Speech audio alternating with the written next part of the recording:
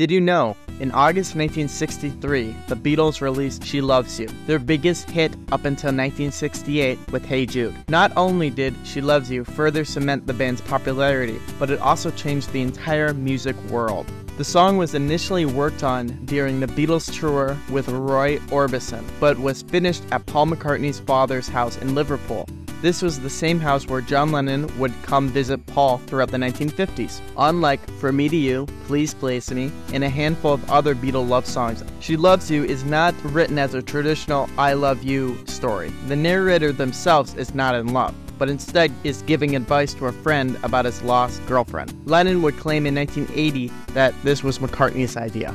The Beatles opened up the song with John Lennon, Paul McCartney, and George Harrison singing She Loves You, Yeah, Yeah, Yeah. The Yeah, Yeah, Yeahs were a useful hook that undoubtedly helped the song climb to the top of the British charts. She Loves You helped propel the Beatles to fame throughout Western Europe. After the release, the band toured across the continent.